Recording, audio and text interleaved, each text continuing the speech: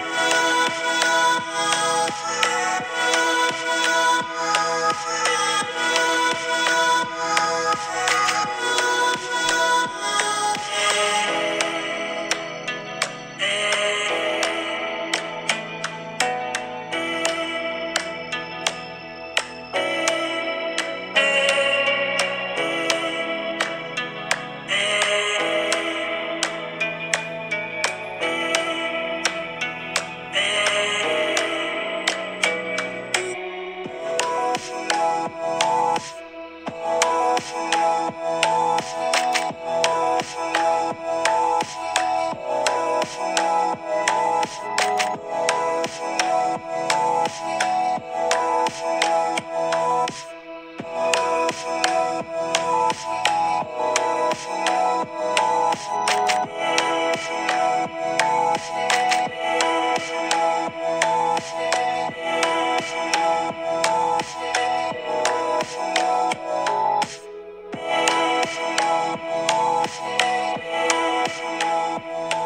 now I'm going to come back in and I'm going to add a little bit of detail on the moon's face before I color it.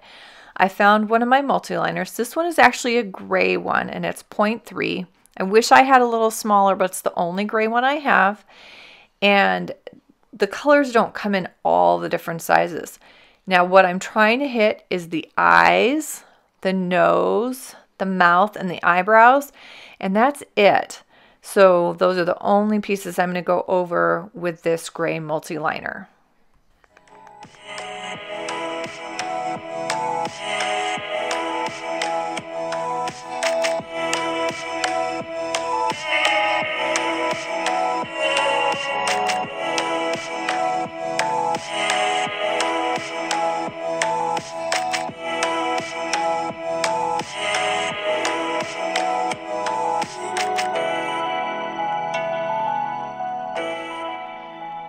I decided to darken up the sky just a little bit, so I'm bringing that B12 in against the moon and bringing that B24 a little closer in. And then I'm going to work on the moon face itself. This is also giving me a chance to let that ink from the multi-liner liner dry completely. The group of markers you're going to see me use on the face is a W1 and W3 those warm grays. Then I use a little bit of Y00 and I also use a little bit of colorless blender. And I'll tell you a little bit more about how I'm feeling about the end results when I get closer to it.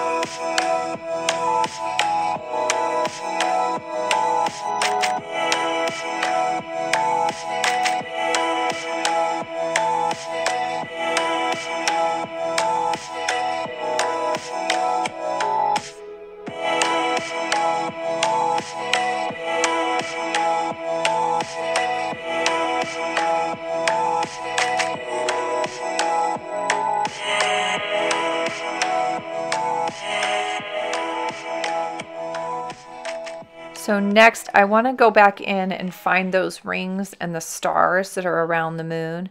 So I'm using a Posca, P-O-S-C-A, um, opaque white pen. This one is a very fine tip. Um, let me see if I can see what it actually says. It's a 0.7 millimeter. And this one to me, and it's a Uni Posca, U-N-I-P-O-S-C-A.